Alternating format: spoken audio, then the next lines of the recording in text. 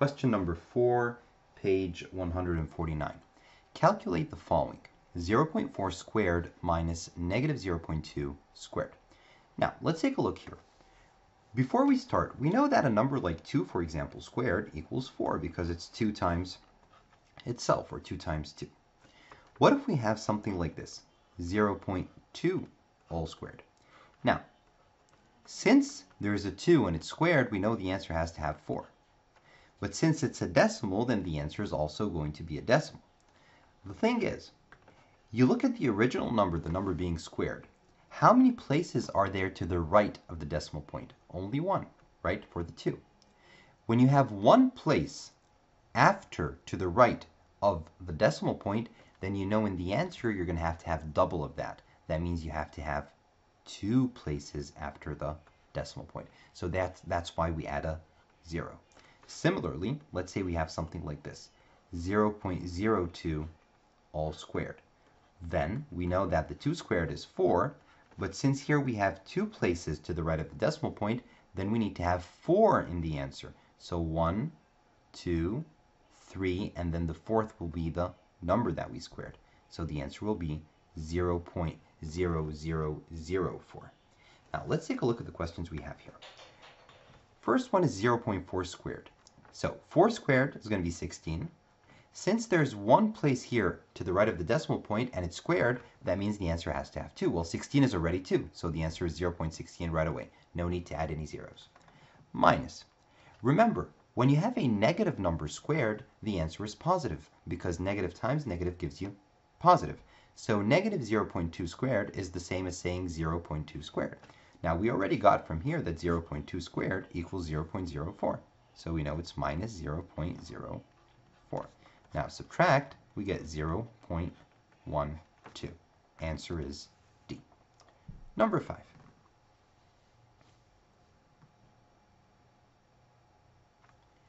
Jenny got 70% on a 20 problem test, 80% on a 40 problem test, and 90% on a 60 problem test. If all three tests are combined into one 120 problem test, what is her percent score? given to the nearest whole percent.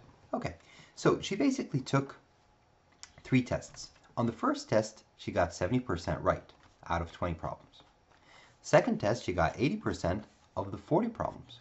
And on her last test, she got 90% of 60 problems correct.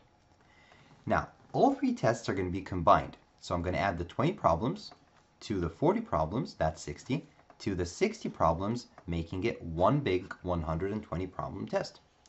I want to know her percent score on that big, long 120 problem test. So what we need to do is we need to know how many questions she got right on each of the tests separately, and then add the number of questions she got right, thus getting her new total out of the new 120 problem test. Then we can find the percentage. Okay, so really quickly. On the first test, she got 70% right of 20 problems. So 70% over 100 times 20. Take away a 0 with a 0, a 0 with the 0 up here, you're left with 14. Now, another fast way to do this would be to, to say, well, 70% of 10 is 7. So 70% of 20 is double 7, which is 14. Okay, on the second test, we know she got 80% of 40 problems. Okay, so quickly. 80% of 10 is 8. So 80% of 40 is 8 times 4, which is 32. So she got 32 questions correct. Finally, on her third test, we know she got 90% of 60 questions. 90% of 10 is 9, so 90% of 60 is 9 times 6, which is 54.